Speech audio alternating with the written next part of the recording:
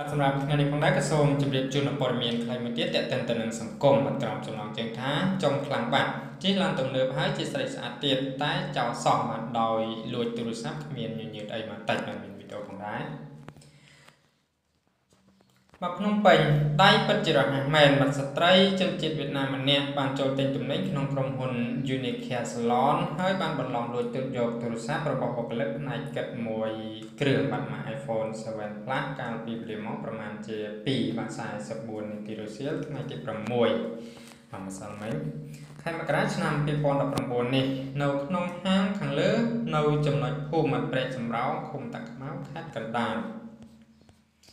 សូមទស្សនាវីដេអូឃ្លីបអស់គ្នាបាទ